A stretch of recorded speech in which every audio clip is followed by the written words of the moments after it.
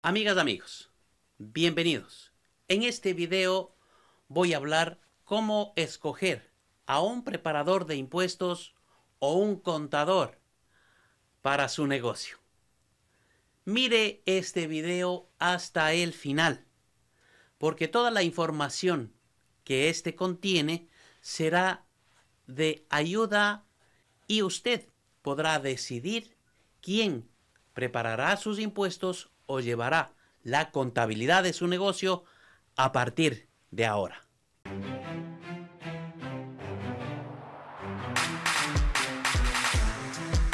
Mi nombre es Carlos Ramírez, Enroll Agent, maestría en contabilidad en este país. Más de 83 millones de contribuyentes le pagaron a alguien para preparar la declaración de impuestos en el año pasado. Generalmente cualquier persona a quien se le paga para preparar o ayudar a preparar una declaración de impuestos federal debe tener un número de identificación de preparador de impuestos, el PITIN, por sus siglas en inglés. Ellos deben firmar la declaración de impuestos al final de la misma, proveerle una copia de esta. Cualquier persona que prepara o presenta más de 11 declaraciones debe presentar electrónicamente. Busque al mejor. La mayoría de preparadores de impuestos proveen un servicio de calidad.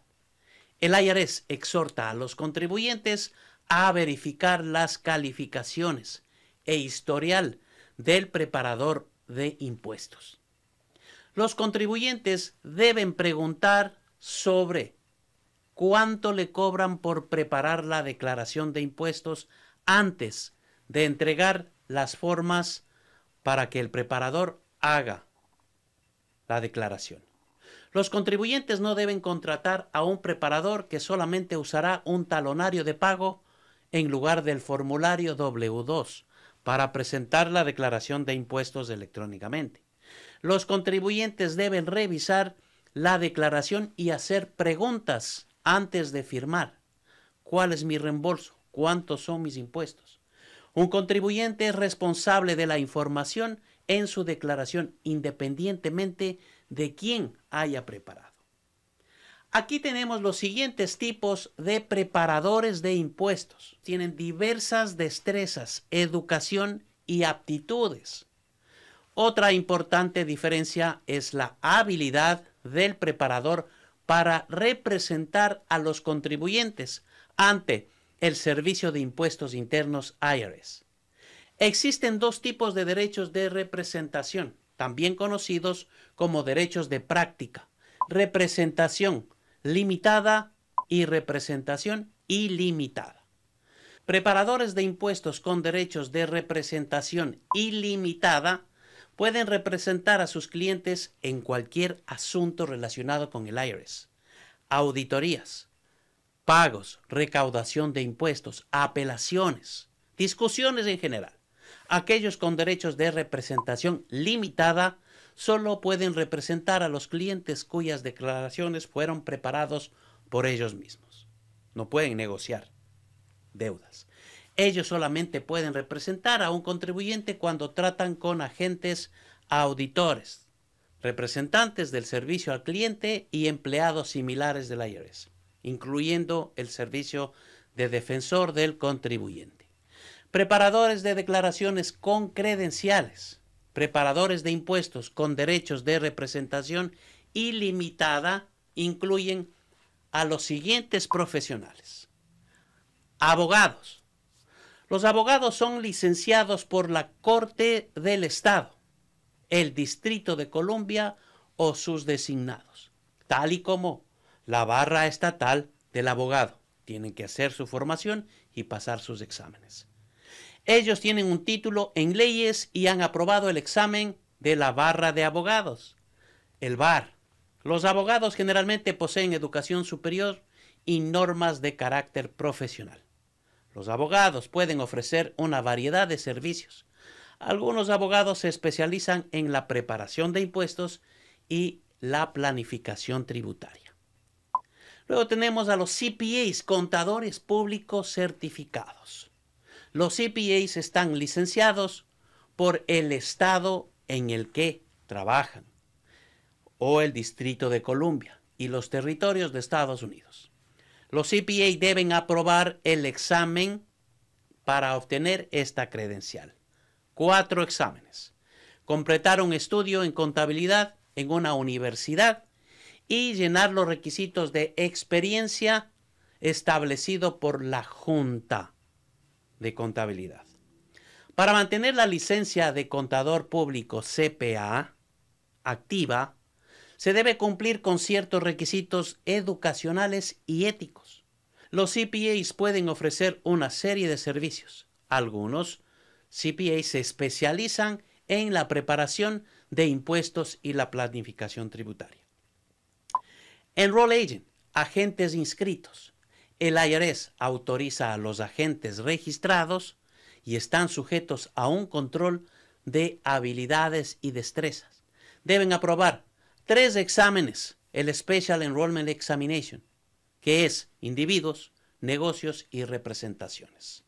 El examen completo cubre planeamiento de impuestos, representación para individuos y negocios. Un Enroll Agent debe completar 72 horas de educación continua en un lapso de tres años. Usted puede mirar todas las características, pero ahora vamos a analizar estas dos designaciones que son las más importantes. El CPA y el EA. ¿Cuáles son las características de los tipos de preparadores de impuestos, contadores públicos que presentan este servicio para usted?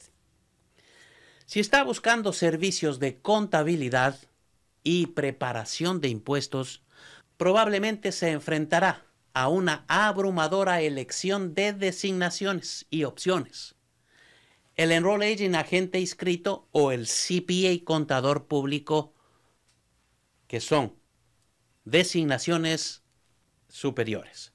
También tenemos el AFSP, que es una designación para poder representar los impuestos que se prepara, o preparadores de impuestos sin ninguna designación, y más aún, preparadores fantasmas que solamente aparecen en la temporada de impuestos.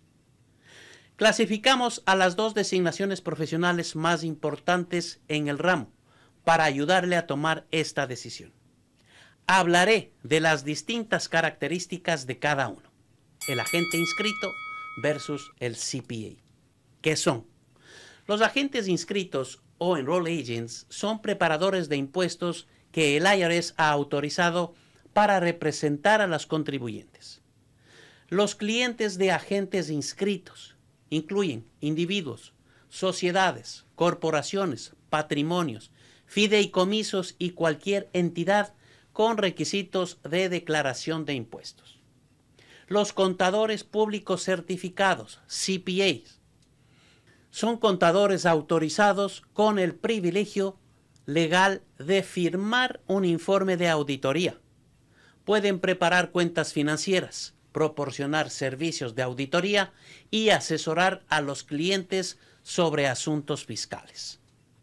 Normalmente, los clientes de un CPA son empresas que requieren servicio tanto contables como fiscales. Generalmente, balances auditados, las franquicias, por ejemplo. El agente inscrito versus un CPA, ¿cuáles son los requisitos del examen y licencia? Los pasos para convertirse en Enroll Agent o contador público autorizado son bastante similares.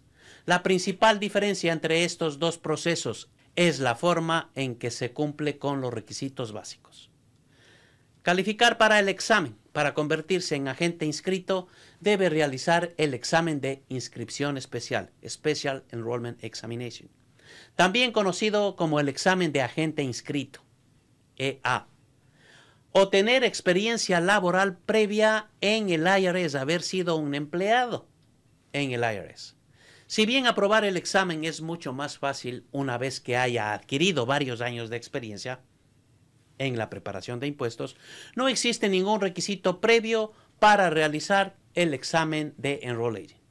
Por lo tanto, podría presentarse usted cuando está haciendo los estudios universitarios, si lo quiere. Solo necesitará el número de identificación fiscal personal PITIN, PTIN, para programar el examen. Por el contrario, debe cumplir con los requisitos educativos para realizar el examen de CPA. Las diversas juntas de los estados de contabilidad establecen los requisitos de solicitud y licencia para el examen de CPA. Casi todos esperan que usted obtenga más de 120 horas de estudios y créditos universitarios para poder sentarse a rendir el examen. Muchas juntas de los estados también prefieren que tenga un título en contabilidad. El obtener una educación universitaria podría dar una clasificación diferente entre el grupo de agentes matriculados, el conocimiento contable. Muchos Enroll Agents han aprobado el examen de Special Enrollment Examination en lugar del examen de CPA porque les gusta más preparar impuestos que hacer contabilidad pública. El examen de EA tiene tres partes. La mayoría de las personas considera que la primera y la tercera parte son las más fáciles, porque algunos profesionales de impuestos experimentados pueden aprobar estas partes con un mínimo de estudio. Por el contrario, casi todo el mundo debe trabajar duro para aprobar la segunda parte. Esta se refiere a los negocios por lo que naturalmente se considera la más difícil. Por otro lado, el examen de CPA tiene cuatro partes y un contenido mucho más amplio.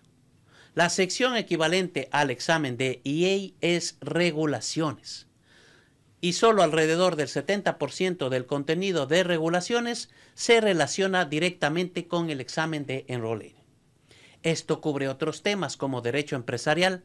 Aún así, cuando comparamos la sección de impuestos de regulaciones con la sección de impuestos del examen de Enroll Agent, descubrimos muchas superposiciones.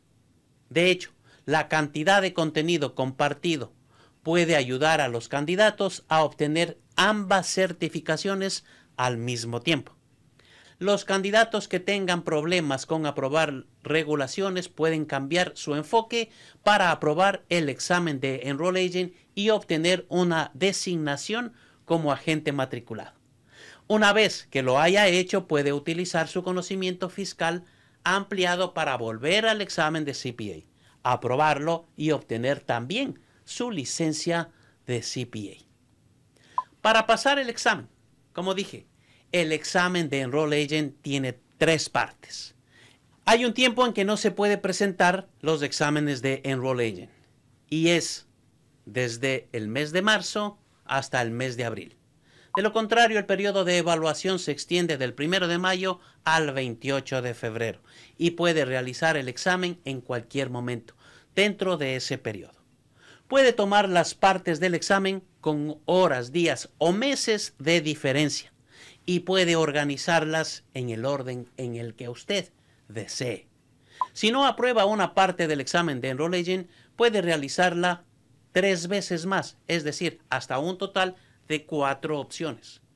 Durante el periodo de prueba, la mayor manera de aprobar el examen de Enroll Agent de manera oportuna es utilizar un curso de revisión de Enroll Agent. Nosotros en Latin American Business Institute le proveemos el estudio para convertirse, para aprobar los exámenes de Enroll Este programa de estudio debe incluir la realización de las tres partes en dos años. El examen de CPA tiene pruebas durante todo el año, no para, pero tiene un periodo más corto para aprobar los cuatro exámenes. Debe aprobar las cuatro partes del examen de CPA dentro de un periodo continuo de 18 meses que comienza tan pronto como apruebe la primera sección de los exámenes. Una vez que pase su primera sección tiene 18 meses para aprobar las tres secciones restantes. Si no aprueba las secciones restantes dentro de este tiempo, perderá el crédito por la sección que había aprobado en primer lugar. Luego debe aprobar esta sección y cualquier otra sección no aprobada dentro de los 18 meses posteriores al momento en el que aprobó la segunda sección. Con tales fechas límites reguladas, confiar en un curso de revisión de CPA y estudiar conscientemente es esencial para el éxito del examen de CPA. Cumplir con el requisito de experiencia.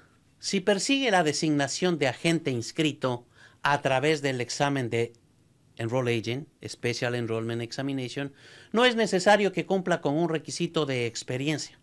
Simplemente debe aprobar el examen. Recibirá los resultados de su examen de inmediato y una vez que lo haya aprobado, podrá solicitar la inscripción ante el IRS. El IRS explica que el procedimiento de su solicitud puede tomar desde 60 90 y hasta 120 días si es un ex empleado del IRS. Además, como parte de la evaluación de su solicitud de inscripción, el IRS realiza una prueba de idoneidad que cumple con una revisión de su cumplimiento tributario personal. Para completar su viaje hacia la licencia de CPA, una vez que haya aprobado las cuatro secciones del examen de CPA, debe cumplir con los requisitos de experiencia y educación. El requisito de educación de 150 horas de créditos, que obtenga 30 horas de créditos adicionales, además de las 120 horas básicas. 120 más 30 son 150 para satisfacer el requisito de experiencia.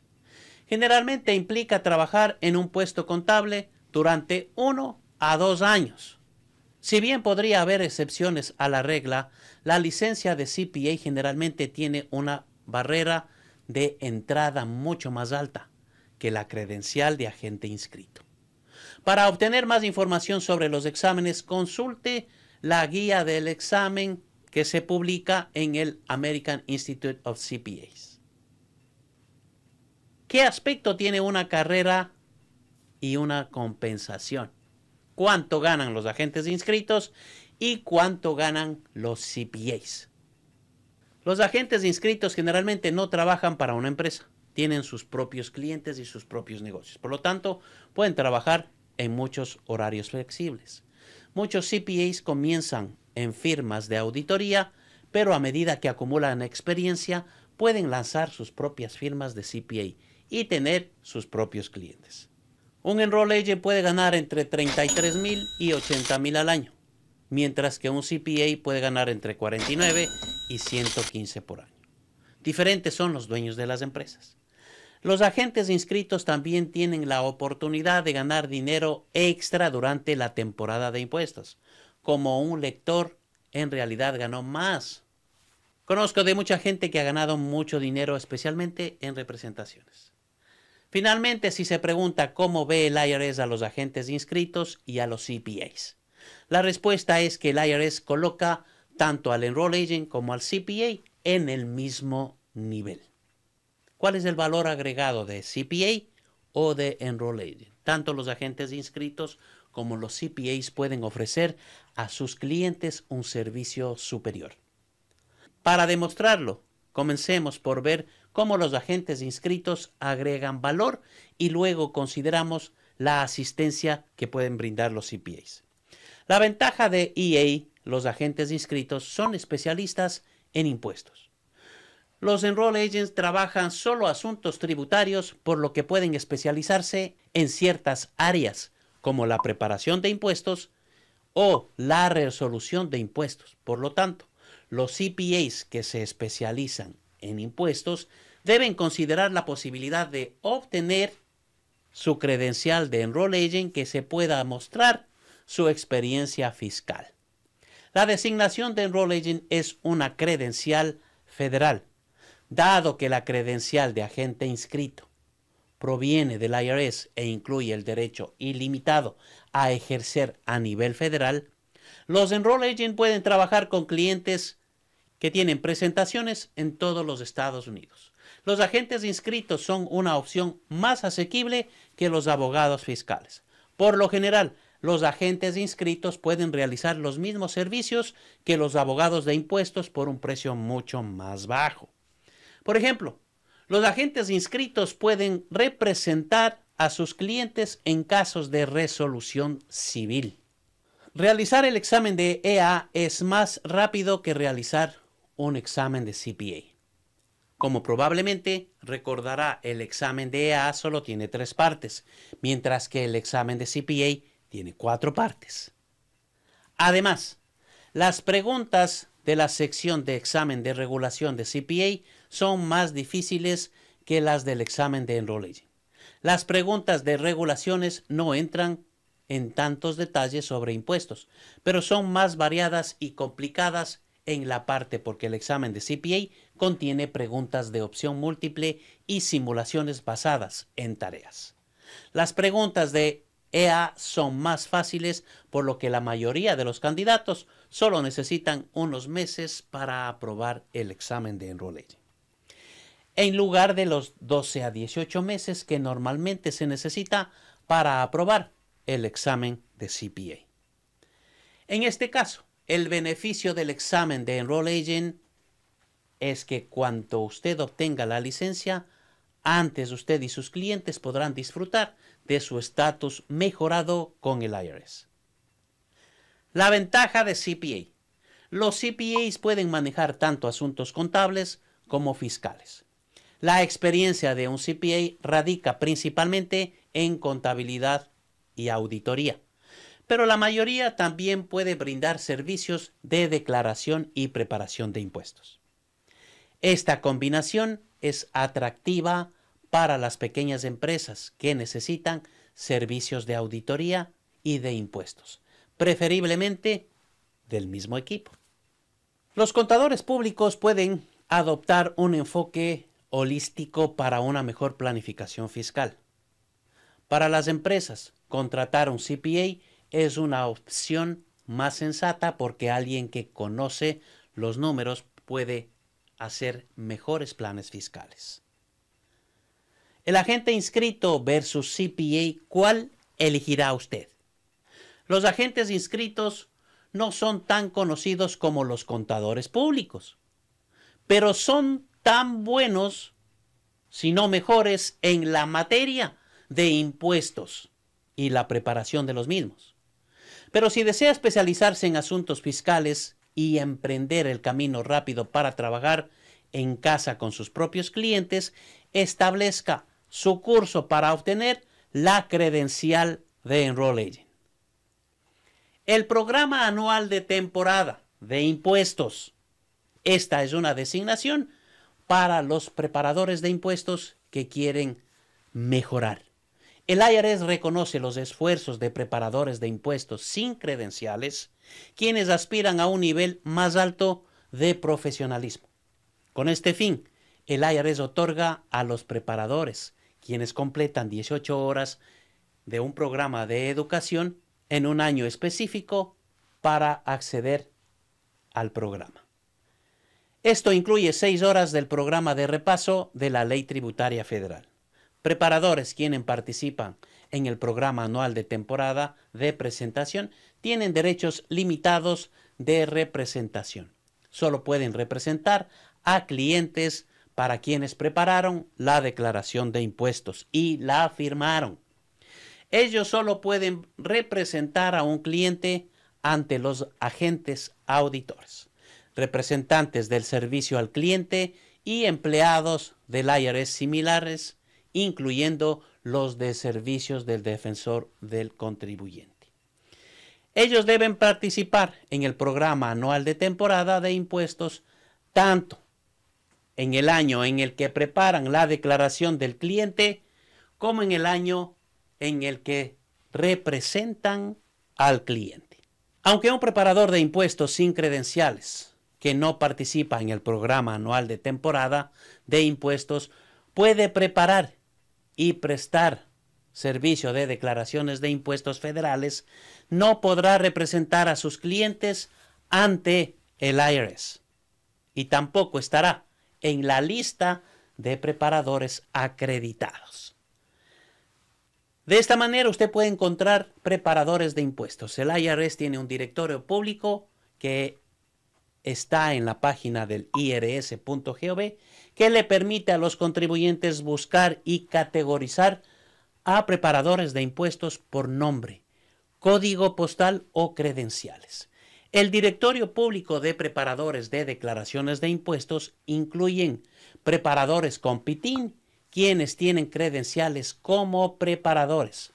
Son participantes del programa anual de temporada de impuestos del IRS.